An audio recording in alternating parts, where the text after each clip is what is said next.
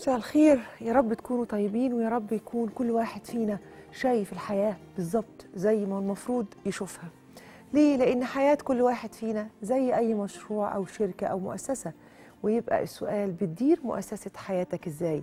واعي للي عليك من التزامات ولا لأ؟ فاهم الأدوات اللي أنت بتملكها علشان تحقق أفضل ربح للمؤسسة دي مدرك الإمكانيات اللي لازم تدعمها أول بأول وتنميها عشان تكبر. ملتزم بالقوانين اللي بتدي لمؤسستك سمعة طيبة وربح على المدى البعيد ولا لأ. محترف آه، آه، لفكر ال- الناس المتخصصة ولا محترف لفكر الفهلوة واللي تغلب والعبوا وإحنا اللي دهنا الهوا دوكو وعبينا الهوا في أزايز؟ أيوة الشاطر اللي بيبقى فاهم دايما وعارف هو بيعمل إيه في حياته؟ عايش فيها ليه؟ وإيه أهدافه اللي عايز يحققها؟ وإيه الحاجات اللي ممكن تكعبله؟ وإزاي يتجنبها؟ طيب ولو اتكعبل إزاي يقوم تاني؟ وإيه القيم اللي لازم يتسند عليها؟ ومين الناس اللي لازم يكمل معاهم في طريق الحياة؟ لأننا في طريق الحياة ده بنحتاج لوسائل دعم تخلينا نكمل المشوار مهما كانت الصعوبات اللي بنقابلها. فإذا كنا مخلوقين في كبد زي ربنا ما قال يبقى إزاي نقلل المعاناة دي؟ ونواجه مصاعب الحياة بصبر ومحبة تخلينا نعدي ونفوت. حياتنا فيها دوائر كتير متقاطعة ولو سلمنا إن حياتنا شركة أو مؤسسة ممكن نقول إن الإدارات في الشركة دي هي الصحة والعيلة والفلوس والعلاقات مع الناس والشغل ومساهمتي في الحياة ورؤيتي وتنمية ذاتي. هي دي إدارات مؤسسة حياة سعادتك.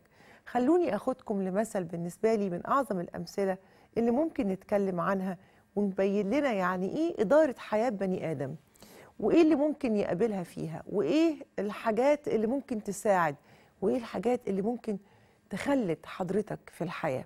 قصة النبي يوسف مش بس لحجم الابتلاءات اللي موجودة فيها من البداية للنهاية لكن كمان لأسلوب إدارة الحياة المتبع فيها.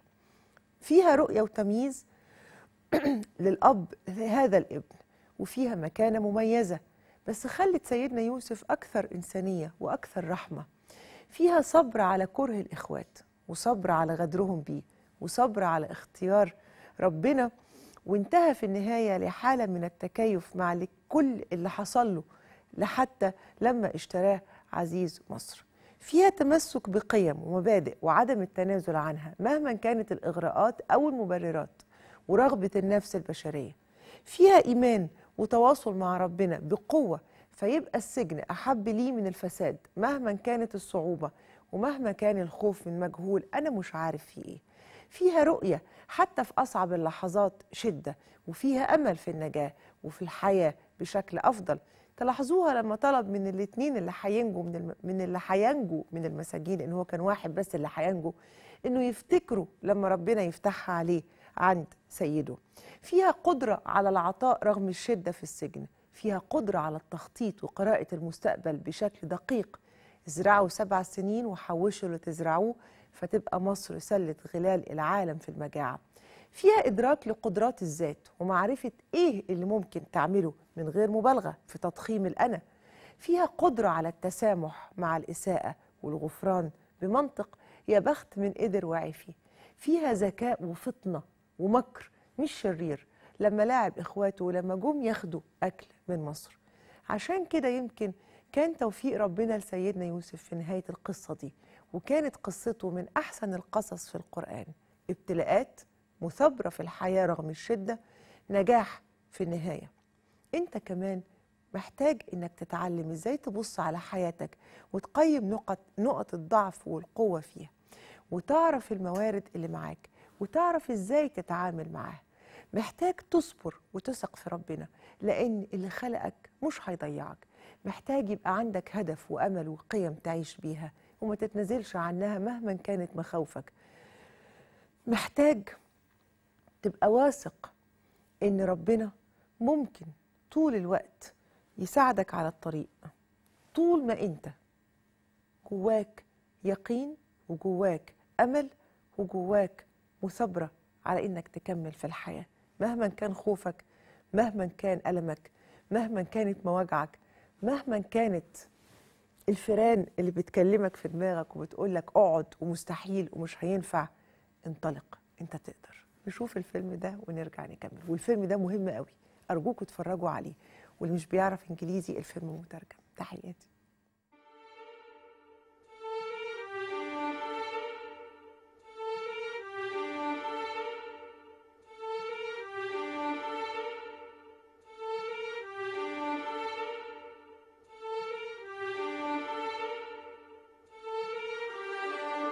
Rise and shine. 6 a.m. and your hand can't make it to the alarm clock before the voices in your head start telling you that it's too early, too dark, and too cold to get out of bed. Aching muscles lie still in rebellion, pretending not to hear your brain commanding them to move. A legion of voices are shouting their unanimous permission for you to hit the snooze button and go back to dreamland. But you didn't ask their opinion. The voice you've chosen to listen to is one of defiance. A voice that says there was a reason you set that alarm in the first place. So sit up, put your feet on the floor, and don't look back, because we've got work to do. Welcome to the grind. For what is each day but a series of conflicts between the right way and the easy way? 10,000 streams fan out like a river delta before you, each one promising the path of least resistance. Thing is, you're headed upstream. And when you make that choice, when you decide to turn your back on what's comfortable and safe and what some would call common sense, well, that's day one. From there, it only gets tougher. So just make sure this is something you want, because the easy way out will always be there, ready to wash you away. All you have to do is pick up your feet.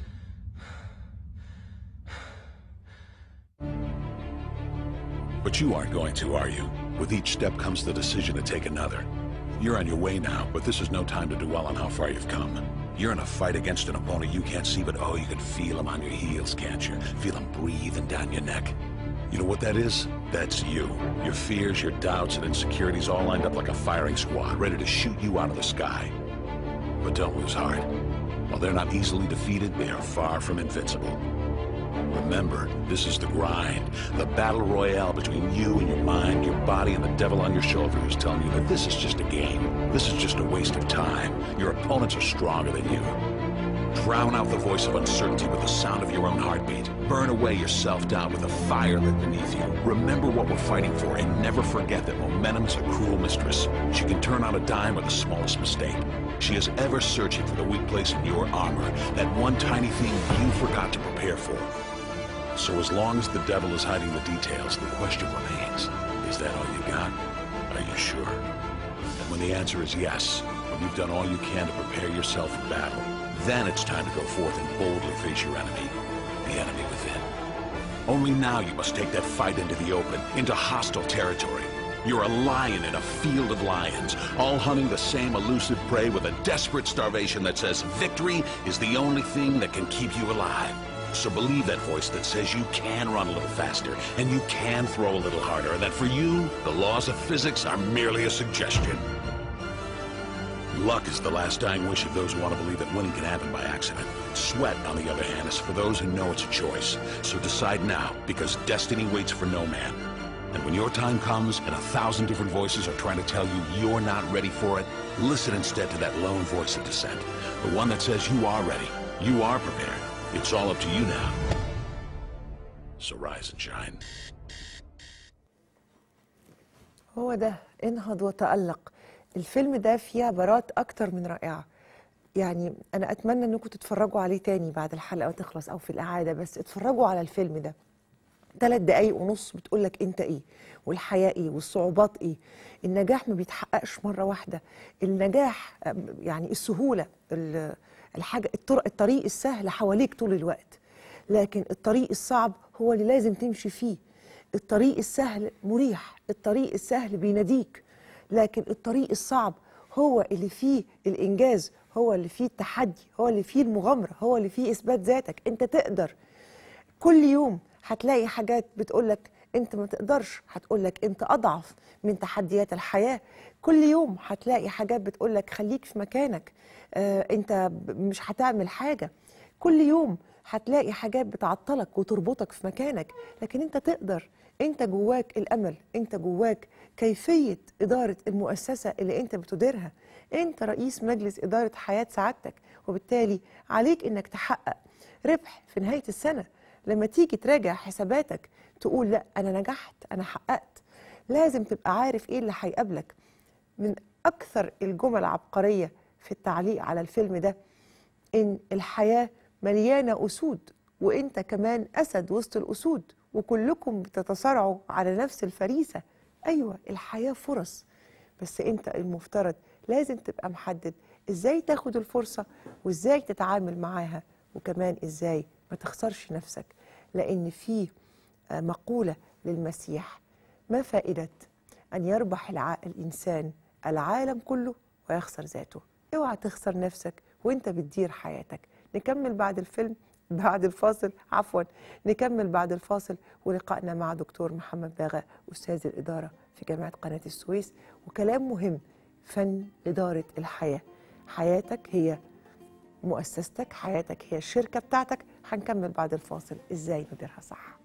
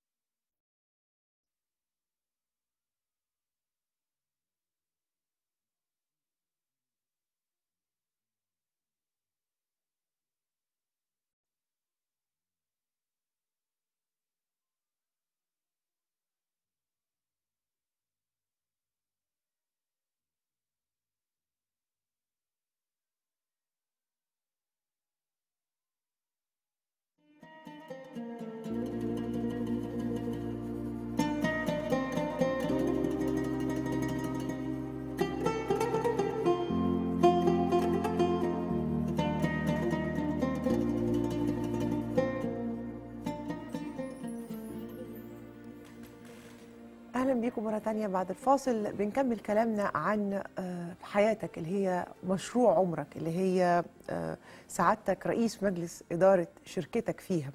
الحقيقة كلامي النهارده هيكون مع آه، دكتور محمد باغا أستاذ الإدارة والتنمية والتطوير في جامعة قناة السويس. إزيك يا دكتور؟ أستاذة نشوى ازي حضرتك؟ نورنا. وتحياتي. تحياتي لحضرتك ولكل المشاهدين أهلا الكرام. بحضرتك يا فندم. دكتور محمد عايز أبدأ مع حضرتك من فكرة الفرد. نعم. هل فعلا أنا رئيس مؤسسة نفسي أو حياتي أو أنا رئيس شركتي في البداية. وإزاي أبص لنفسي كده؟ نيجي ناخدها من دليل قطع وهو من القرآن الكريم لما ربنا قال إن الله لا يغير ما بقوم حتى يغيروا ما بأنفسهم. أي فرد فينا هو نواة تطوير هذا المجتمع ونواة تطوير العالم.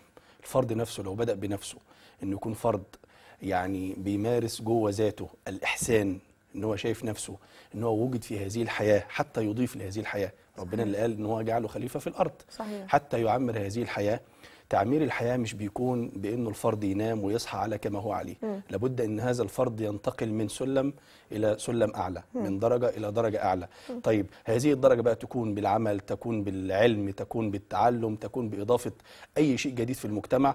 هي دي قيمة الإنسان الحقيقية اللي المفروض إن هي تكون يعني في مثل أجنبي كده يعني هقوله بالعربي إنه إنه ما وجدت السفن حتى تركن في في ال- في المرافق يعني إن هي ال- السفن اللي موجودة دي مش. مش علشان تكون موجودة على ال- المواني تفضل. واقفة إن هي لأ تمشي في البحر وإن هي تضرب في الأرض زي ما بنقول هذا هو الإنسان. وتقابل عاصفة و- طبعا هتقابل وتقابل- بقى مخاطر وأهوال وتحديات ومغامرات هذا هو الإنسان بالضبط. الإنسان حتى يتعلم ويكون فعلا إنسان بحق ويكون جدير بالمسؤولية ويكون جدير فعلا إن هو نطلق عليه إن هو رجل على فكرة كلمة رجل صفة آه، ممكن نقولها للذكر أو للأنثى. صحيح. حتى يكون الإنسان رجل لابد إن هو يتعلم والتعلم مش شيء آه، مجاني لا التعلم ليه ضريبة.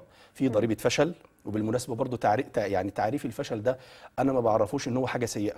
أنا بعرف الفشل إن هو الخبرة اللي أنا باخدها لو أنا ما قدرتش أحقق اللي أنا عايزه من المرة الأولى أو الثانية أو الثالثه فهي خبرة باخدها. قد يكون هذا الفشل زي ما حضرتك قلت في الإنترو آه، ممكن في كبد زي ما القرآن قال بيواجه صعوبات وبيواجه تحديات و إلى آخره. ولكن قدرة هذا البني آدم إن هو فعلا ينمو ويكبر ومنحنى التعلم بتاعه يكون عالي إنه يكون عنده مثابره يكون عنده صبر يكون عنده فعلا إيمان وثقة بالله اولا ثم ثقة في نفسه إن هو قادر على هذا التحدي. هيصنع الكثير والكثير. وعندنا من النوابغ والعلماء اللي غيروا العالم وأثروا في هذا العالم فعلا. ما حدش آه، اتولد في بقه معلقة ذهب. صحيح. أو ما حدش فيهم إن هو بينوم وليله بقى عالم أو بقى جهبذ أو بقى إلى آخره. لا. كلهم مروا بلحظات معاناة وملاحظات آه، شقاء كتيرة جدا. توماس إديسون اللي اللي عمل المصباح الكهربائي اللي إحنا قاعدين تحته دلوقتي فشل 999 مرة ونجح في المرة الألف. صحيح. فبالتالي إحنا كلنا معرضين إن إحنا نتعرض لتحديات في حياتنا نتعرض لتهديدات في حياتنا. نتعرض لألم في حياتنا ولكن الشاطر فينا هو اللي ينجو بنفسه ويتعلم إنه الأزمات اللي بتحصل في حياتنا دي يفترض إن الأزمة بيبقى في حاجة اسمها الاستفادة من الأزمة. يعني في فن إدارة الأزمات إنه الإنسان وهو بيدير أزمات نفسه إن هو يستفيد من هذه الأزمة. ده, ده المنطق ال- يعني المثل المصري اللي بيقول الضربة اللي ما تكسرنيش تقويني. ده كان عمر المختار الشهيد عمر المختار إن الضربة التي لم تقسم ظهرك فإنها تقويه صحيح. فبالتالي الإنسان كل ما يتعرض لضغوطات كل ما يتعرض لصعوبات كل ما يتعرض لمشاكل كل ما يتعرض لأزمات ده بيعلي منحنى التعلم عنده. ده بيكون إنسان فعلا قادر إنه لو واجه المشكلة دي مرة تانية خلاص هو عنده الاكسبيرينس عنده الخبرة إن هو يواجه هذه المشكلة ويتغلب عليها ويتفوق عليها بإذن الله. فبالتالي الرسالة الأولى اللي إحنا عايزين نوجهها النهارده لكل واحد فينا إن أنا مسؤول عن نفسي. مسؤولية نفسي اولا قبل ما أقول الحكومة وقبل ما أقول فين وفين وفين وفين وفين. كلنا لو كان عندنا ال- الإيمان أو أو الاعتقاد بإن كل واحد اولا مسؤول عن نفسه صدقيني حضرتك يا أستاذة نشوى هنحقق حاجات كتيرة جدا جدا في فترة وجيزة قوي. صحيح. هنحقق نجاحات في في أسرنا. هنحقق نجاحات في الشارع بتاعنا اللي إحنا عايشين فيه. هنحقق نجاحات في مجتمع في الحي بتاعنا في المجتمع بتاعنا في دولتنا في المنطقة العربية بصفة عامة في العالم ككل. لو بنقول إن مصر عايزينها دولة تكون فوق ودولة عالية ودولة متقدمة ما هو متقدمة بمين؟ بينا إحنا. لما نيجي. نشوف مصر دي عبارة عن إيه؟ مصر دي عبارة عن دوائر. الدايره الأولى الكبيرة هي المجتمع. المجتمع المصري. أنا وحضرتك والأستاذ وكل طوائف الشعب المصري على اختلاف أنواعهم ومسمياتهم. طب هذا المجتمع بيحتوي جواه حاجة اسمها الدولة. يعني إيه الدولة؟ الدولة دي اللي هي في أرض وفي شعب وفي حكومة موجودة. مؤسسات. طيب مؤسسات. طيب جوه الدولة دي حاجة اسمها الحكومة. طب جوه الحكومة دي حاجة اسمها المؤسسات. مين بيكون كل الدوائر دي؟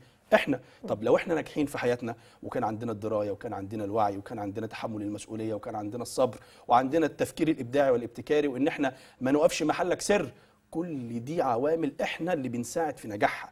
إحنا اللي بنتقدم ببلدنا لقدام. إحنا اللي بنبني نفسنا وبالتالي بنبني مجتمعنا لقدام. فأنا بسأل النهارده كل واحد فينا أنت عملت إيه لنفسك؟ فبالتالي عملت إيه لمجتمعك؟ وعملت إيه لدولتك آه، ككل؟ كشف حساب. هل أنت زي ما ربنا خلقك اتولدت أبيض يا ورد لحد هذه اللحظة؟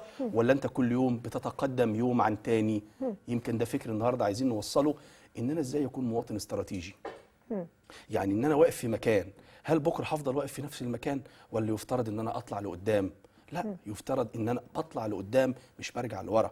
بطلع لقدام يبقى في مهارات لازم اتعلمها طب أنا بقى هنا هقف بعد إذن حضرتك لأن مصطلح مواطن استراتيجي ده مصطلح مهم. نعم. لكن أنا عايزة قبل ما أقول أنا مواطن استراتيجي هو إيه الدوائر بتاعتي أنا كمان علشان أبقى عارف إزاي أدير حياتي؟ يعني إذا كانت الدولة هي فيها آه، مجتمع شعب وحكومة ومؤسسات وبالتالي أنا كمان جوايا إيه الإدارات اللي بديرها؟ أنا- علشان أكون مواطن شيء استراتيجي عارف إن النهارده أنا واقف على نقطة إكس بكرة عايز أكون واقف على نقطة زد مثلا. نعم. ربنا خلقنا بأربع أسلحة. مم. الإرادة وبالمناسبة أنا متعمد إن أنا أخليهم بالترتيب. الإرادة القلب العقل الضمير. أربع أسلحة أساسية في كل واحد فينا إزاي إن إحنا نستخدمهم. وبالمناسبة الفرق ما بين واحد فاشل وواحد ناجح هو استخدام الأدوات الأربعة دول.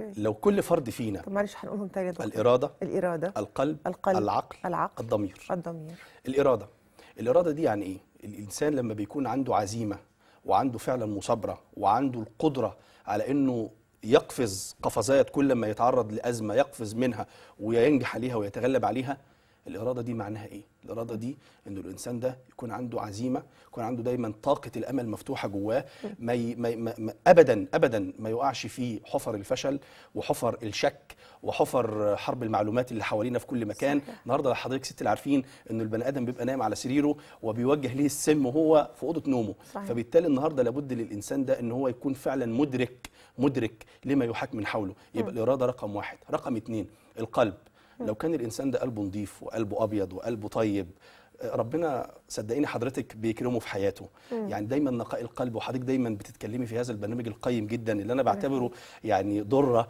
تولد في مصر شكراً، من شكراً. الدرر إن هو فعلا محتاجين موضوع الأخلاق ده. ينتشر قوي قوي في الفترة الجاية وإنه مفيش دولة محترمة في العالم بتكبر إلا لو كان موضوع الأخلاق ده والقيم دي هو الأساس. هو الأساس لبناء هذه الدولة وشايفين على سبيل المثال دولة اليابان دولة اليابان اللي كانت معدمة من الموارد ولكن الفرد الياباني بعد ما حصل له نكبات وأزمات كتيرة جدا أول قيمة غرستها القيادة السياسية في دولة اليابان للمواطن الياباني هو قيمة الاحترام صحيح. الاحترام لنفسه الاحترام لمجتمعه الاحترام للعمل الاحترام صحيح. لكل حاجة في حياتنا صحيح. فبالتالي لو كان هذا القلب نقي هذا القلب والتكي... أبيض. يعني لدرجة إن هي اليابان من أكتر الدول اللي بتحصل فيها كوارث طبيعيه وما وعندهم عندهمش القدرة وما عندهمش موارد مشاكل. زينا يعني بل ما بالعكس. أرض تتزرع ما عندهمش أنهار ما عندهمش ما عندهمش ما عندهمش بترول حضرتك حضرتك لو شاهدت على اليوتيوب على سبيل المثال لو بيحصل زلزال وهم شغالين في المؤسسة كل واحد عارف هيعمل إيه صحيح. وقت وقوع الزلزال صحيح. وتلاقيهم حضرتك بيمسكوا الأشياء اللي عندهم خايفين بيقولوا. إحنا اللي عملنا الكلام ده صحيح. الحاجات دي ممتلكاتنا والحاجات دي إحنا اللي تعبنا فيها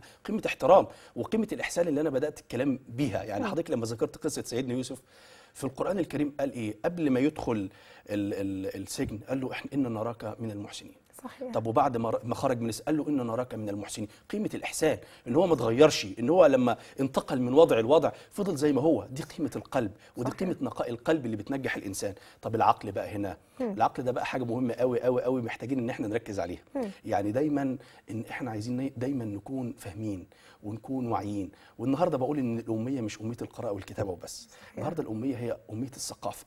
إن أنا النهارده كمواطن بقول إن أنا قاعد على سريري والغزو جاي لي لحد عندي. النهارده الأمن القومي لما بنتكلم عليه ما بقاش أمن بري أو بحري أو جو بس. فيه الأمن الأخطر الأمن الفكري. صحيح. الأمن الفكري النهارده مفتوح على مصراعيه لأي حاجة إن هي تخربط في دماغنا. فبالتالي أنا لو مواطن واعي ومواطن فعلا عارف انتقي منين المعلومة اللي دخلها هنا في هذه الدماغ علشان فعلا توجهني توجهني اتجاهاتي. لأن الاتجاهات هتعمل لي سلوكيات. السلوكيات هتخليني أنا إنسان آه، إنسان في الطريق السليم أو شمال. ولا إنسان في الطريق ال السوي. صحيح. فبالتالي النهارده من يتحكم في اتجاهاتي النهارده؟ أنا مش مسؤول عن نفسي النهارده فقط. لا في عوامل أخرى بسميها تهديدات. لو بنعمل كده تحليل لكل واحد فينا تهديدات جاياني من محليات جاياني من بره. فبالتالي أنا معرض إن هذا الأمن الفكري يكون مشوش أو يكون مخترق. فيه بالظبط يكون مخترق زي ما حضرتك قلتي. فبالتالي لازم فعلا يكون عندي دراية وعندي وعي. وإن أنا دايما موضوع منحنى التعلم والمعرفة ده يكون عندي يعني نسيبنا بقى من اللي كان الفراغ الفكري اللي كان موجود واللي ثوره يناير آه، كشفته لينا النهارده بقى لما اتعلمنا في أزماتنا الماضية دي بين النهارده الفلاح البسيط بيتكلم في السياسة زي الفل يمكن من أحسن الخبراء اللي بيتكلم النهارده هو الفلاح صحيح. المصري صحيح. بنتكلم الناس عرفت يعني إيه دستور والناس عرفت يعني إيه كذا وعرفت يعني إيه كذا ده أمن قومي يعني النهارده لما أنا بوعي البشر دول ده أمن قومي بيغنيني عن السلاح والطيارات والدبابات صحيح. لأن عندي وعي الكتلة البشرية لما بتتوحد وبتبقى عارفة بيكون سهل إن هي فعلا تكون حامية لهذا الوطن صحيح. وحامية لهذا لهذه الأرض الطيبة. صحيح. النقطة الأخيرة في في الأسلحة دي اللي هي الضمير. يا سلام يا أستاذة نشوى لو هذه الكلمة فعلت في المجتمع المصري. دي الوجيعه في مصر. يعني دلوقتي. الضمير ده محتاجينه في حاجتين. مواردنا اللي عندنا دي نستثمرها إزاي؟ وأول مورد هنا ال- ال- الفرد البني آدم المصري. البشر لا الحجر. يعني ربنا لما قال في القرآن إن عرضنا الأمانة على السماوات والأرض. والجبال أن أن يحملنها يحملنها وحملها وحملها الانسان الإنسان. يعني كان حامل جهولا. طب الأمانة دي أحافظ عليها إن أنا أعمر هذه الأرض وأطور من بلدي وأطور م- من نفسي وأطور من مجتمعي وأطور من الناس اللي حواليا دي قمه الأخلاق فبالتالي موضوع الضمير ده في موضوع استثمار الموارد يكون حاضر النقطة الثانية موضوع الضمير في موضوع مكافحة الفساد. مش كل واحد فينا مسؤول عن هذا الفساد. حضرتك لو في مواطن بسيط آه، آه، استمع لكلام سواق ميكروباص على سبيل المثال في انه رفع الأجرة. هذا المواطن آه، قال لا واعترض وبقيه المواطنين يا عم ده ما فيش مشكلة ده ده زيادة صغيرة وما في الزيادة الصغيرة دي المرة دي صنعت إنه بعد كده هذا السواق بتاع الميكروباص هيفضل دايما. يستغل آه. بقت إمبراطورية هيفضل دايما يستغل الركاب لأنه واحد بس هو اللي اعترض وبقيه الناس آه، كانت قطيع سكتت. زي ما سيدنا علي بن, بن أبي طالب كان بيقول لا تستوحشوا طريق الحق لقلة السالكين. فبالتالي أنا النهارده يا مصري محتاج ضميري يصحى أنا النهارده يا مواطن يا عربي محتاج ضميري يصحى. لو ضميري صحي المنطقة العربية بخير. لو ضميري صحي المنطقة العربية بخيراتها هتكون في أحسن استثماراتها. وهنعمل تنمية وهنعمل اللي إحنا عايزينه. بس غياب الضمير كان يعني بمثابة إنه بقت الساحة بتاعتنا ملعب. أي حد يجي يلعب فيه. بقت ال- ال- العقول آه، لعبة. في ايديهم ان هم يحركونا زي ما هم عايزين. وارمي المصطلحات هنا والديمقراطيه والحرية وكذا وكذا. طب يا حبيب قلبي تعالى قول لي يعني إيه المصطلحات دي؟ وعيني الأول ما ده العقل. طب يا حبيب قلبي قول لي طيب أنا أروح آه، آه، أفجر أخويا؟ ما ده الضمير والقلب وال- والعقل وأي حاجة في الدنيا والإنسانية وكل حاجة في الدنيا. فبالتالي مصطلحات كتير قوي محتاجين إن إحنا نرجعها لبلدنا تاني ومحتاجين إن إحنا نأكد عليها تاني. الغزو اللي حصل لينا مش سهل والحرب اللي إحنا فيها مش سهلة من أخطر أنواع الحروب اللي بتواجهنا فأنا المسؤول الأول عن إدارة هذه الحرب والانتصار فيها بإذن الله. المصري ما يتخافش عليه. طيب. لأن المصري زي ما بنقول كده إن هو غير خاضع لحسابات القدره يعني إيه غير خاضع لحسابات القدره لأنه عنده موروث كبير قوي قوي قوي من القوى الناعمة. صحيح. وإنه فعلا الإرادة بتاعته دايما حاضرة وشغالة بس بشرط اللي هو الجنب التاني بقى اللي عايزين نتكلم عليه. مين اللي بيفعل إرادته دي؟ ومين اللي بيقويها ومين دايما اللي بيصير عنده العزيمة والإرادة والتحدي إن هو فعلا يفوق ويصحى ويعلم نفسه ويطور من نفسه. طب خليني أقول لحضرتك هنا بعد ما يقال في هذه النقطة دكتور محمد ألا وهو إن المواطن المصري أيوه هو صحيح آه، قابل آه، يعني إنه إنه يتحدى وقادر إنه هو يعدي أي صعوبات لكن ده بيظهر فقط في وقت الأزمة. نعم. ما عدا ذلك هو مواطن الطبيعة فرضت عليه انه هو يكون مواطن قدري إلى أبعد حد. بمعنى هو ال- النيل يعني هو عاش جنبه طول ال 7000 سنة بيستنى النيل يفيض وبيستنى يحط البذرة ويستنى جنب البذرة والمية لحد البذرة دي ما تبقى شجرة ويحصد. نعم. هو اتعود على كده. وبالتالي قوته وقدرته بتبان بس في وقت وقت الأزمات. إزاي أنا أقول له لا أنت المفترض إنك أنت يعني إزاي أنا أغير له طبيعته اللي هو طول عمره عايش بيها؟ فأقول له لا أنت مش المفروض بس في وقت الأزمة تبقى عندك تحدي وتدير مشروعك وتحمي بلادك لا أنت المفروض كل يوم تبقى عندك مشروع جديد وكل يوم يبقى عندك تحدي جديد. أنا أعتقد ان الموضوع ده لازم يتربط بحاجة يعني لو بنتكلم على إدارة جزئية إدارة جزئية اللي هي إدارة الأفراد فأنا عايز أربطها بالإدارة الكلية اللي هي ال macro. فلا بد إن الدولة نفسها تكون حاطة المواطن ده دايما في ال ready في الاستعداد. طب النهارده الدولة لما في في عهد الرئيس عبد الفتاح السيسي لما الدولة اتجهت إلى إن هي عايزة تتبنى فكر الدولة الاقتصادية. إن إحنا عايزين نكبر بلدنا بالفكر الاقتصادي مش بالفكر ال- الحربي أو بالفكر السياسي. ده آه، آه، في بلاد كتيرة جدا صنع معجزات. يعني لو صحيح. بتكلم على التجربة الماليزية على سبيل المثال. من دولة كانت في فقر مدقع نسب البطالة كانت أكتر من من من 50% في صحيح. هذه الدولة صحيح. وارتفع دخل المواطن في فترات وجيزة جدا وتحولت ماليزيا من دولة زراعية فقيرة جدا إلى دولة بتصدر التكنولوجيا لكل. دول العالم ده مظبوط. بسبب إيه ده بسبب إن كان هناك قائد استراتيجي قدر فعلا إن هو يحشد كل طاقات المجتمع إن هي محمد. تفعل مهاتير محمد. الدكتور مه- مهاتير محمد أو محاضير محمد. وقدر فعلا إن هو يحشد كل طاقات المجتمع ويوجه هذه الطاقات وينظم الموارد اللي موجودة في دولة ماليزيا وعمل كتاب شيق قوي اسمه معضلة الملايو. وقدر إن هو يطلع بدولة ماليزيا لقدام. النهارده إحنا في خلال سنة قدرنا نحمل يعني إن إحنا نتجه إلى هذا الفكر. بس فعلا إحنا محتاجين نخطو بخطى سريعة قوي. والخطى السريعة قوي دي مش هتيجي من الرئيس بس. مفيش دولة في الدنيا بتتبني بفرد واحد. الدولة لازم تتبني بمجموعات كل المجموعات التي تشكل هذه الدولة. طوفان البشر. كل من هو موجود على أرض هذه الدولة لازم إن هو يشتغل. لو بنقول يا أستاذة نشوى إنه الفرق ما بين الحلم والحقيقة كلمة واحدة العمل. صحيح. فهل نحن نعمل في بلدنا؟ والعمل ان هو مش العمل اللي هو أنا مجرد بعمل العمل اللي هو عشان آخد الراتب بتاعي و إلى آخره. لأ القيمة المضافة للدولة دي إيه؟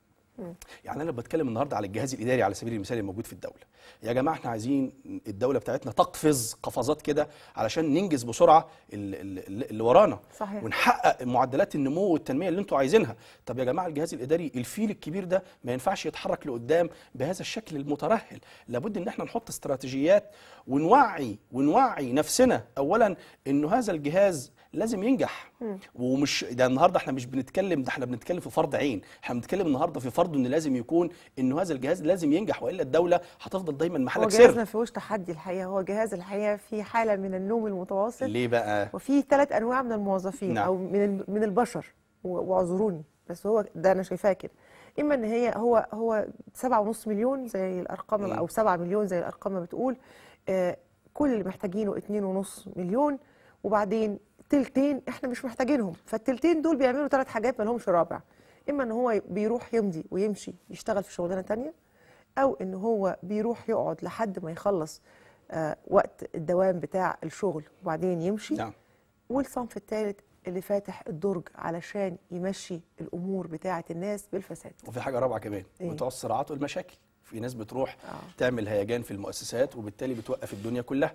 فبالتالي النهارده لما بنقول يا جماعة ارجوكم اسمعوا اسمعوا لينا واسمعوا الكلام للكلام بتاع الخبراء إن الدولة دي مش هتطلع لقدام إلا لو كل واحد فينا كان فعلا آه، بيساهم بيساهم في إنجاح ده.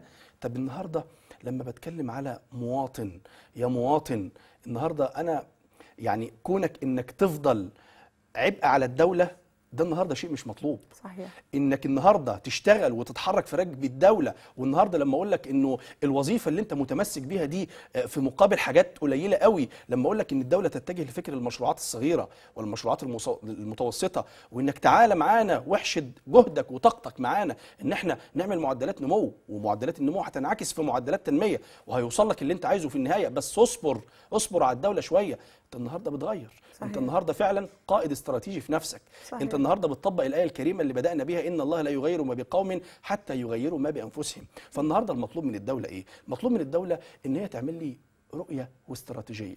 رؤية هتخلق لي أهداف وهتخلق لي استراتيجية. إن أنا إزاي احشد طاقات المجتمع دي كلها في خط تنمية.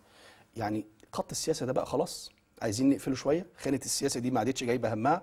ودايما أنا بقول إنه شارع السياسة صوته بيعلى لما شارع الاقتصاد صوته بي إيه؟ بيوطى. بيوطى. النهارده أنا محتاج شارع الاقتصاد ده يصرخ بأعلى صوته. محتاج إن كل واحد في المجتمع ده فعلا يكون منتج. الاقتصاد الإنتاجي وليس الاقتصاد ال... يعني حضرتك قلت في الانترو كلمة جميلة قوي شغل الفهلوة. صحيح. شغل الفهلوة ده اللي بيجيبنا تحت قوي يا بيخلينا آه فوق بس ما بيضيفش حاجة. للدولة بتاعتنا. فبالتالي النهارده لما أنا باخد قرار القرار بتاعي بيكون معرض إن أنا آه، آه، لمخاطرة عالية. طب المخاطرة دي هفضل بقى قاعد ليها ومستني ليها ولا إن أنا أخطو خطوات فعلا رشيدة يعني- وخطوات واعية؟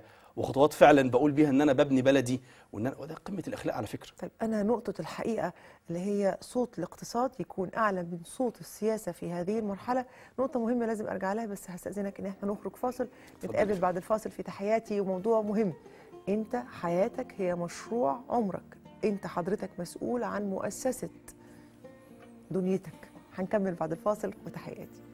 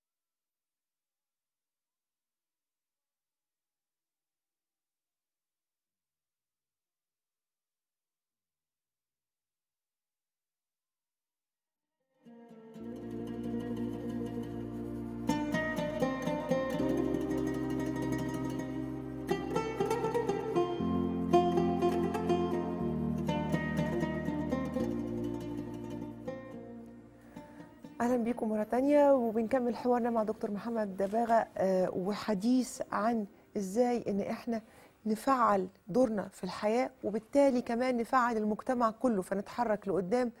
عندنا نماذج كتيرة في العالم الصين ألمانيا اليابان ماليزيا دول كتير حوالينا حتى جنوب أفريقيا بالمناسبة. يعني هي كدول في نماذج وكأشخاص برضو في نماذج. دكتور محمد كنا بنتكلم دلوقتي على قبل الفاصل على جزئية آه الاقتصاد صوته لازم يعلى السياسة صوتها لازم يتراجع علشان إحنا في المرحلة الأهم دلوقتي. اولا برضو يعني من ضمن المصطلحات الغريبة اللي دخلت علينا في الفترة الأخيرة ان كلمة السياسة مرتبطة بالخناق والصراع واللي واللي إلى آخره. على. فكرة كل العلوم موجودة علشان تخدم الإدارة. الإدارة هي إزاي إن أنا آخد قرار. وآخد قرار علشان في النهاية بعمل السياسة. السياسة هي بتحكم كل شيء. طب يعني إيه السياسة بقى؟ إن أنا إزاي اشبع حاجة ورغبه المواطن. فن الممكن.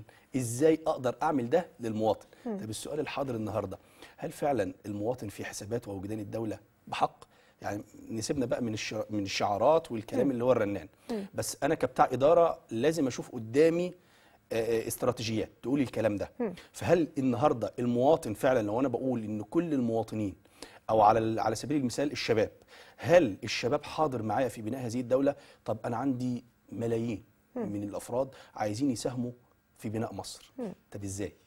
صحيح. يعني السؤال ده لازم يكون مطروح.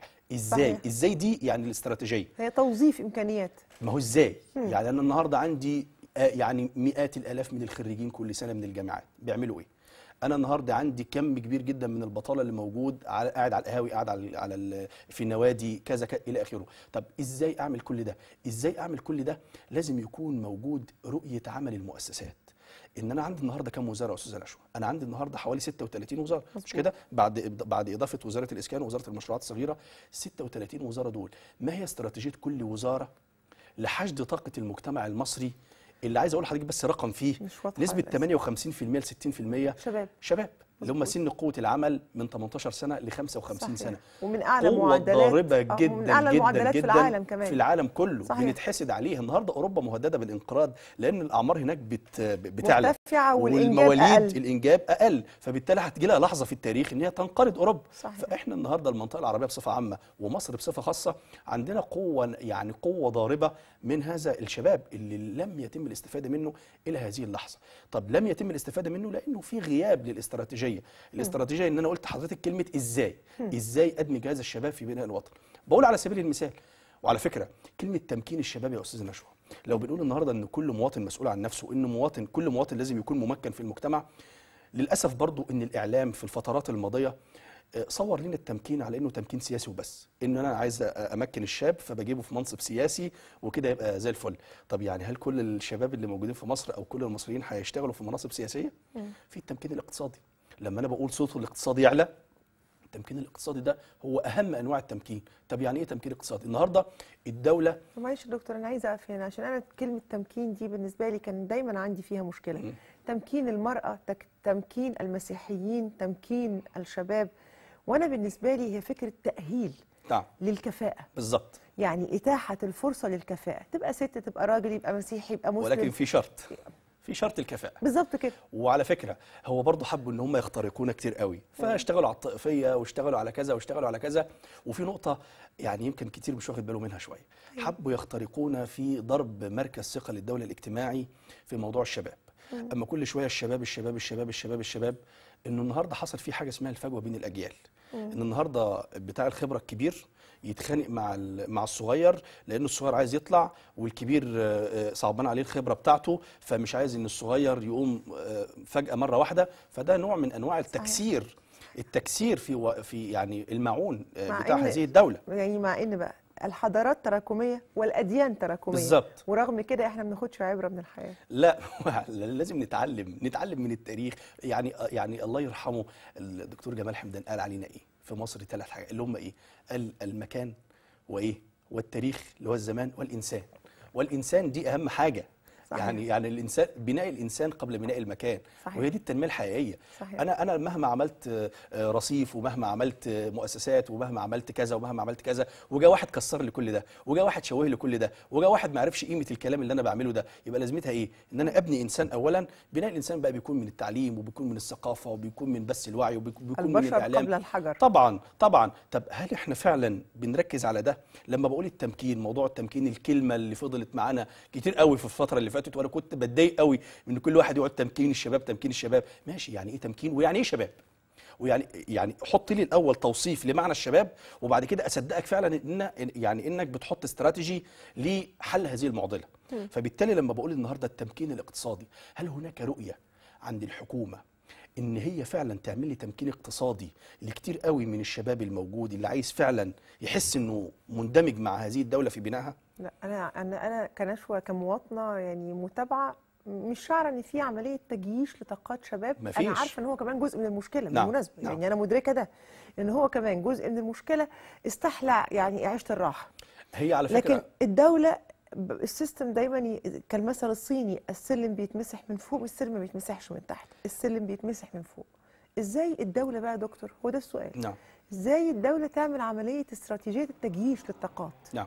أنا بقول لحضرتك ان النهارده الدولة لو عايزة تعمل تجييش حقيقي لازم تستخدم كل أدواتها. اولى هذه الأدوات وإحنا في قناة خاصة ومع احترامي الكامل. اولى هذه الأدوات وزارة الإرشاد القومي مش الإعلام. الإرشاد القومي محتاجة كده ترجع. تاني. صحيح. وكان اسمها كده أول ما ابتدت. فالدكتور محمد عبد القادر حاتم, حاتم، لما الله أنشأها. يرحمه. الله يرحمه. فالنهاردة أنا محتاج هذا التجيش التجيش. لا بقول النهارده إن الحرب حرب معلومات.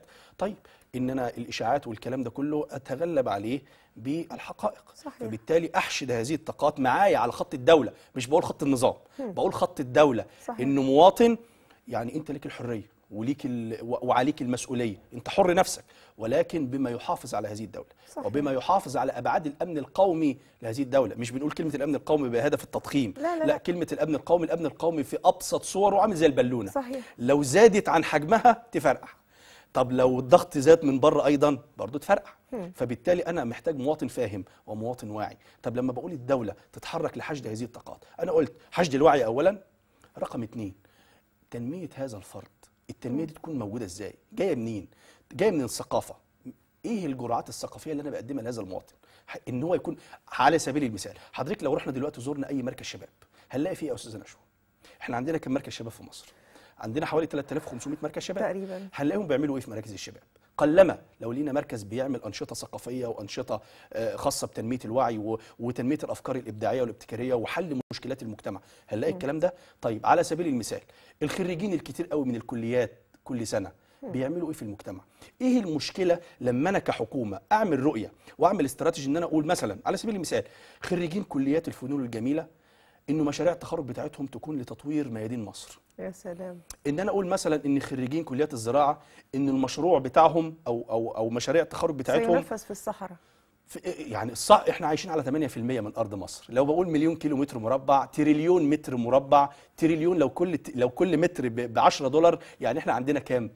اضربي حضرتك 10 في ال- في كليات التريليون. الزراعة الحقيقة هتتنقل لتوشكا لإعمار ما فيها وتنفيذ تجاربهم ورؤاهم ومراكز الأبحاث القومية تتنقل للم- لل- للمجتمعات نعم. العمرانية الجديدة. دي طاقات لم تستغل مش كده؟ طلاب صحيح. كلية الهندسة اللي هم برضو بالآلاف. لماذا لم يكن مشاريع التخرج بتاع طلاب كلية الهندسة إن هم يفكروا إزاي في حلول إبداعية وابتكارية للمشاكل المستعصية على الحل الموجودة في مصر؟ على سبيل المثال أزمات المرور أزمات النقل أي أزمات موجودة. الفكر طيب أنا النهارده كحكومة ساكت وأيضا حضرتك قلت إن الشباب أيضا أو المجتمع ساكت. طب مين يشتغل؟ لما بقول إن إحنا كلنا بنحلم بلدنا تكون كويسة.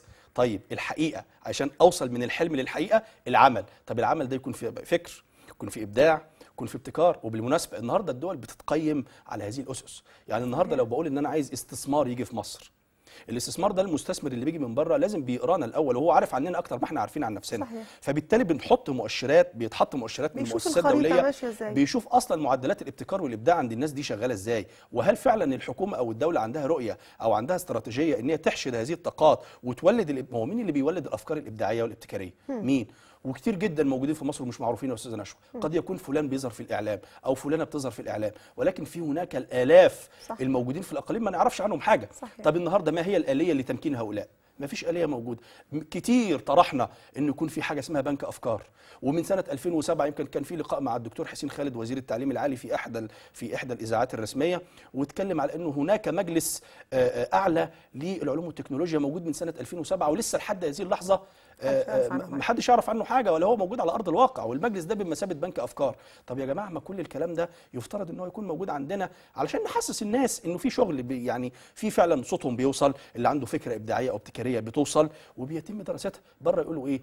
we need to talk يعني لو إحنا في مشكلة we need to talk إحنا عايزين نتكلم مع بعض. يعني لو إحنا قعدنا مع بعض خلاص هنقدر نوصل لنقطة نقطة تلاقي طب هل دي موجودة عندنا في مصر؟ حضرتك قلتي السلم بيتمسح من فوق. صحيح. الحكومة معتقدة إن هي الفهمه وهي الدارية وهي الواعيه و- وإلى آخره. النهارده في حاجة اسمها البارتيسيبيشن المشاركة. وما فيش دولة في العالم النهارده بتتبني بحكومتها بس. صحيح. لابد من تكاتف كل الجهود سواء من جانب الحكومة سواء من جانب ال- ال- مؤسسات القطاع الخاص سواء كانت من مؤسسات المجتمع المدني أو كان من جانب الأفراد أنفسهم. فإحنا كلنا في مركب واحدة كلنا في قارب واحد. يا إما كلنا ننجح نطلع لقدام كلنا مع بعض وكلنا مع بعض دي إدارة. يعني لو بقول إنه الفترة اللي فاتت كانت الإرادة في أوج عصورها وفعلا شفنا إزاي على سبيل المثال المصريين كل واحد فينا نزل من بيته لما اتفتح آه، آه، مشروع حفر قناة السويس الجديد. صحيح. 64 مليار جنيه في أسبوع. في 8 أيام. وبالمناسبة 28 مليار جنيه من تحت البلاطه صحيح. يعني 28 مليار جنيه دخلوا حسابات الدولة ما كانش معمول حسابهم صحيح. فبالتالي ده خير. خير خير للدولة خير دخل للدولة تاني. فالنهاردة لما حصل فكره إبداعية وفكره ابتكارية وحسسنا المواطن إنه بلده مستقلة قرارها من جواها وحسسنا المواطن إنه عنده فخر وكبرياء مجتمع مستحق. وإنه صاحب مسؤولية اللي هي وحدة المصير. ان أنا إزاي أصنع فكرة أقول للشعب ده محدش هينفذها غيرك وكلنا مع بعض وفي وحدة مصير كلنا شركاء فيها مؤيد أو معارض بالمناسبة. لأن هذه الدولة لو لا قدر الله لو لا قدر الله دخلت في نفق مظلم مرة أخرى أعتقد إنه صعب تخرج منه فإن إحنا نكون على قد المسؤولية وكلنا جميعا نتكاتف مع بعض ونطلع لقدام يا إما آه، يعني في يعني كانت كلمة للسيد الرئيس في ال ال ال آخر خطاب, آخر خطاب آه، ليه. ف يعني أنا أنا الحقيقة لأن وقتي خلص لكن بقول وأكد الكلام اللي حضرتك بتقوله كلنا محتاجين نبقى حاسين إن إن إحنا في مركب واحد فكلنا نشتغل آه، بمنطق المسؤول وبمنطق المواطن كمان نعم. وكل واحد فيهم يبقى عارف إن هو عليه مسؤوليه يعني أبسط المسؤولية المجتمعية في يعني في أبسط تعريفها إن أنا إزاي كمواطن أبقى عارف حقوقي إيه والواجبات بتاعتي إيه ومسؤوليات اللي واقع عليا إيه. أعتقد لو ده وصل لكل واحد فينا حاجات كتير جدا في المجتمع هتتحل. مشاكل كتير جدا بنواجهها هتتحل. يجي بقى أنماط المسؤولية اللي بعد كده إن إحنا بقى ندخل آه، آه، مسؤولية القطاع الخاص ومسؤولية القطاع المدني و إلى آخره. لا أنا بقول النهارده أدوات الحكومة أدوات الحكومة الإرشاد القومي أحشد المواطن معايا إزاي على خط الدولة؟ وإن أنا إزاي أطمن المواطن رسائل الطمأنة بصفة مستمرة؟ إن الدولة بتتحرك فعلا في خط تنمية هذا المواطن سياسيا واقتصاديا واجتماعيا وتثقيفيا وتعليميا ودينيا وكل آه، يعني أنواع التمكين. كل أنواع التمكين اللي المفروض إنها تكون موجودة آه، في إشارات كويسه قوي هتكون موجودة في وقت قريب جدا جدا جدا. ربنا اعطانا موهبة إن إحنا عندنا الرئيس بيستمع للمصريين. فبالتالي لابد إن كل ال- ال- الجهاز المعاون مع مع هذا الرئيس المحترم يستمعوا إلى المصريين وهنوصل إن شاء الله في وقت قياسي قوي. بشكر حضرتك يا دكتور محمد. دكتور محمد باغا أستاذ الإدارة والتطوير بجامعة قناة السويس. أنا بشكر حضرتك وبشكر وجود حضرتك معايا. و... و... وأقول تاني حياتك هي مشروع عمرك لحد الحقيقة ما يبقى السيستم من فوق والحكومة تحس بده كمان وتعرف إن التجيش مهم. فحياتك هي مشروع عمرك مؤسسة دنيتك. حياتك هي اللي وراك واللي قدامك. لازم تقرر حدرها إزاي ولازم تنجح. الفشل اختيار قميء ارفضه. حياتك طريق مليان تحديات وامتحانات وفرص. خوض التحدي بقوة وعدي الامتحان بثبات وتعامل مع الفرص بمبادئ. تسمو بيك حياتك. حياتك كتاب انت اللي بتملى صفحاته خليها صفحات مشرفة حتى لو طالها الأسى. وما تسمحش لأي مبررات الظروف واللي حواليك يكتبوها بالنيابة عنك. اجري بأمل وثبات وواجه خوفك ويأسك وأكيد بكرة بإذن الله أحلى. أنت رئيس مجلس الإدارة. اوعى تخلي حد ياخد القرارات بالنيابة عنك. وأوعى تخلي الوقت يفوتك. افتكر دايما انت المسؤول وانت اللي في النهاية هتقدم كشف حساب. تحياتي وأشوفكم بكرة إن شاء الله. بكرة بقى هو إجابة عن السؤال اللي تردد عليا في الرسائل بتاعتكم الأسبوع اللي فات عن أوكي إحنا عايزين نتطوع إحنا عايزين نساهم إحنا عايزين نعمل حاجة. بكرة معانا نموذج حي اسمعونا. وشنطة المدرسة 10000 شنطة للمدرسة يروح بيها اولادنا بكرة إن شاء الله في مشروع تطوعي. اسمعونا بكرة. وتحياتي.